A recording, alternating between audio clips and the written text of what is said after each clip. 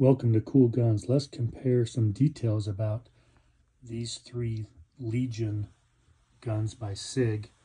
We have the P220 in 10 millimeter, the P229, which is the compact and of the 226, and the P2 365 AXG Legion and I just got this AXG Legion and wanted to uh, do some comparison. Uh, one thing I don't like about the 229, which I think is the same as the 226s, is the metal frame rises up right here so it makes the grip thicker but then this grip also has a raised portion right here which makes the grip even that much thicker. So as you can see on the P229 Legion, the bulge grip width is 1.41 compared to the AXG and the 220.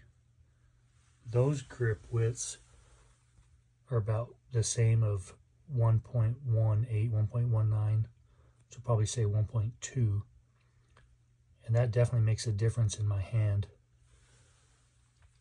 The, the next measurement that's really important for accuracy is how high up you can get your hand to the barrel axis. And that is this bottom measurement, the top of the back of the grip to the slide. So for example, on the AXG, that would be right here up to the slide. And the closer you can get your hand up to the to the barrel, the more accurate the gun is going to be. And so you can see that the the striker fired AXG only has a 0.6 compared to just over one inch and, and one inch for the P220. So that will definitely make a good bit of difference in accuracy if you're really looking for that. Um, one thing that was interesting to me though is that from the, the top of the grip to the trigger in double action, they're all about the same. And the AXG is, since it's a striker fired, it's always in double action. But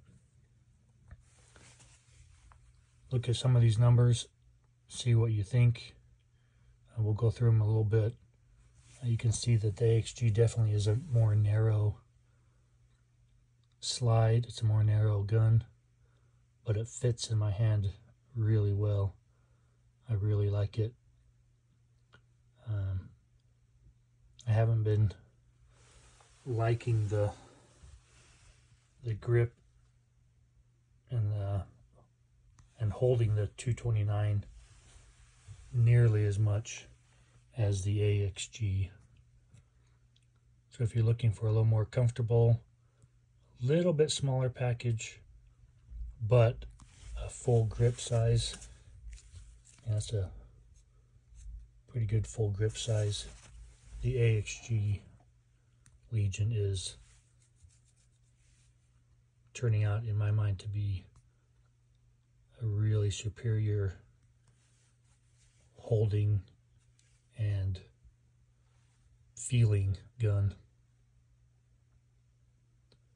So if any of these other numbers look important to you, uh, let me know if you need to know what they are or, where I measured them from. I have some other papers that I can uh, send you notes on. Another interesting thing, as you can see on the AXG compared to the 229 is that definitely the frame is is bigger. But the length of the slides is almost identical. You can also see that the AXG doesn't have some of these opened pins. It, and since it doesn't have a hammer, it doesn't have the decocking or the, the hammer. One thing I do, I haven't tested out or really understood, but the you compare this part of the Legion, or the 229 and the AXG. Must be a new design, but they are really quite different. On the 229, this is it's a nice narrow groove with the rail. And it's only goes in a little bit. Whereas on the AXG, it's a much bigger groove. And it goes in quite a bit different. It may actually be a different style rail, but I haven't looked into that detail yet. Another awesome part of the AXG that I'm enjoying is that you can see on the right above the trigger where your finger would be when it's straight it actually has some serrations. And it has them on the other side too. So when your finger is not on the trigger, it has a little bit of grip. That's actually really cool. I just barely noticed that uh, the other day when I was playing around with it.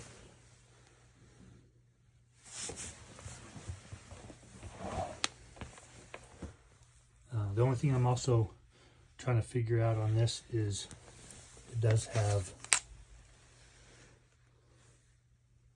the cut slide for an optic. I'm thinking about doing the Romeo Zero or the Romeo Zero Pro, but I do I don't want to have a red dot that is too much wider than the slide.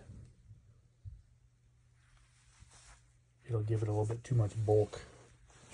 So I'm going to have to figure out which red dot will be able to be narrow enough.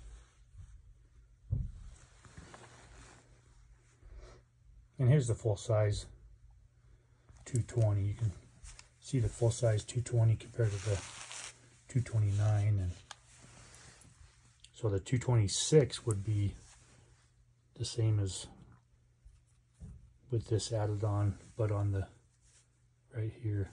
So this compact is the 229 and this full size is the 220. The other few things that they did to the AXG that I really like is they cut into the beaver tail a little bit. They're trying to help you get your hand up closer to the slide in the barrel for accuracy. And also I think this one's just for comfort. They cut a groove in right underneath the top of the grip and underneath the trigger guard. Makes it really comfortable.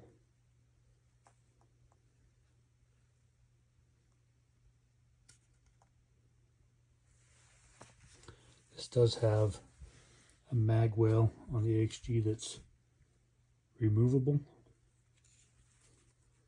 But I don't know if they make mags that would actually fit flush. So it may not, it may not matter. But this AXG Legion is similar to the 365 XL where the bulk barrel is shorter than the slide in order to allow these compensation slots to help with muzzle rise when shooting it. And I'll show you the, the, grip widths difference. So you can see here, slide, frame, and then grip. Oh, one cool aspect is you can see that the, the grip, where the grip lays down, has actually been cut into the frame a little bit. It's almost like the the top part of the grips and the frame the grip is recessed a little bit into the frame.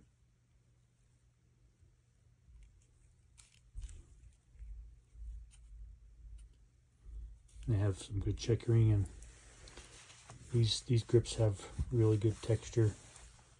Uh, I think a little bit more aggressive than the 226 and the 220.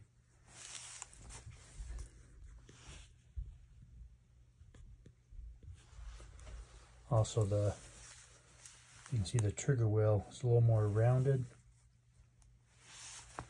compared to the 226 and the 220. The trigger well guard is definitely has that little point on the bottom in the front. And that's been rounded off on the AXG to make it smoother and this AXG is just a lot smoother all around. It fits and holds in the hand extremely well.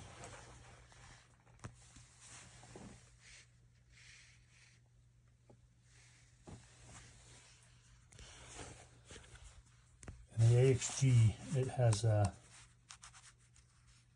17 round has a 17 round 9, 9 millimeter mag.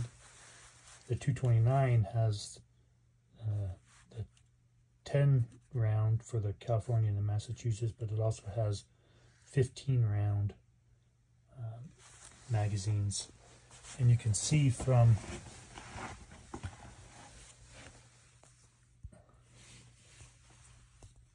why that is here we have from the start of the trigger guard to the bottom of the grip. The AXG, even though it's a smaller overall gun,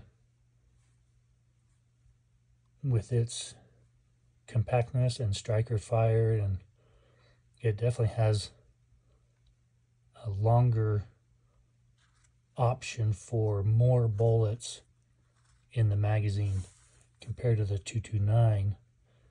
It's only 2.15 inches from the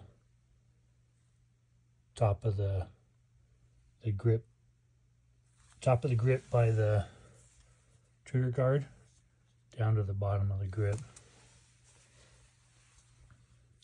And then the 10 millimeter has essentially a little bit longer grip length but it's 10 millimeter and it only holds eight rounds because it's a single stack So these are some dimensions that you do not find on any websites or the manufacturer's websites.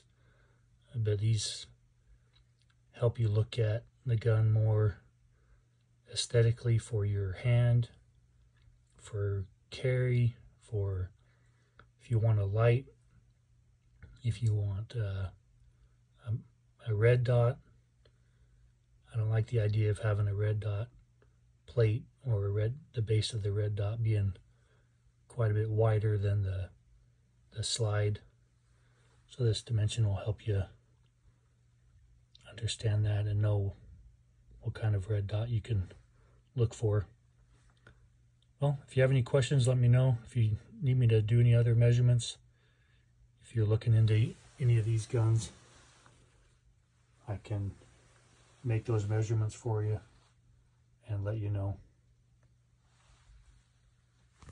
I'll tell you, let's do one more thing. You can also see, I think they're optimizing the beaver tail.